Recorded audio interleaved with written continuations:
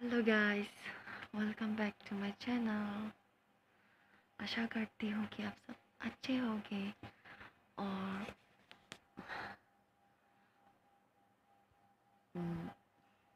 मैं इतनी दिनों के बाद ये वीडियो बना रहा हूँ। एक्चुअली हम लोग का यहाँ लाइट भी ख़राब था बस्ती में और एयरटेल नेटवर्क तो सबको पता होगी कि कितना अच्छा है। बस आज भी अचानक ऐसे बना रही है कि अभी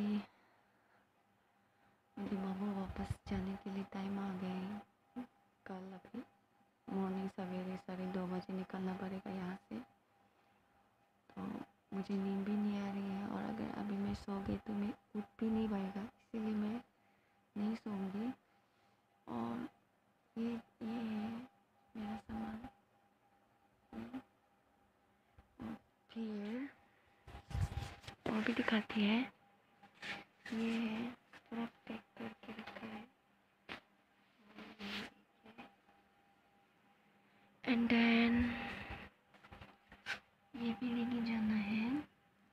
बिस्किट का डब्बा और ये। इसका नाम पुप्पू है, पुप्पू।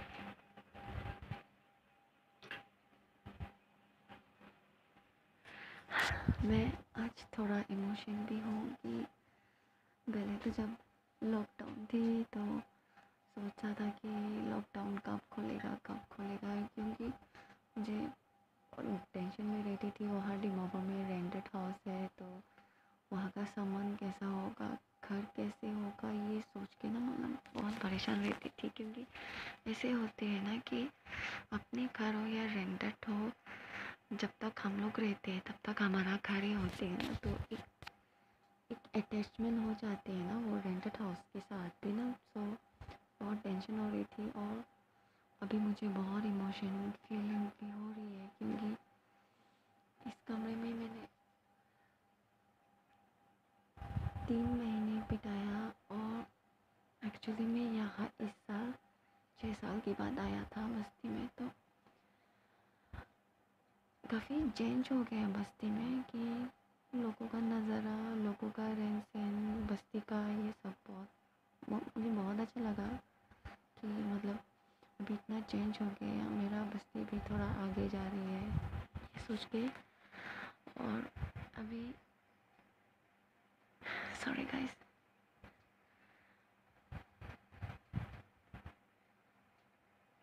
अभी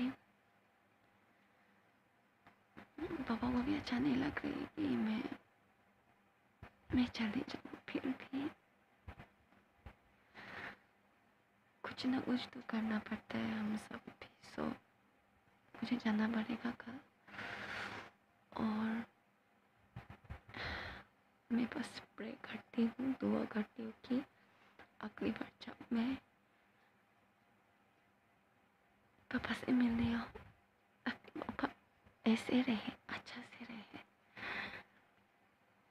क्योंकि मैं मेरे पापा से बहुत प्यार करती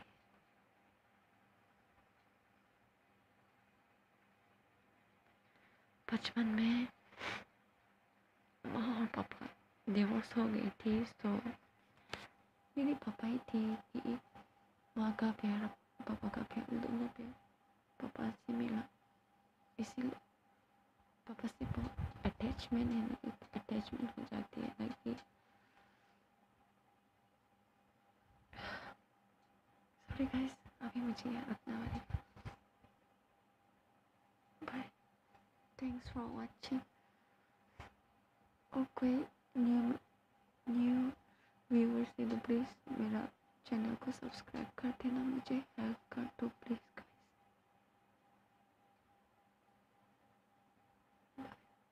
bless you all.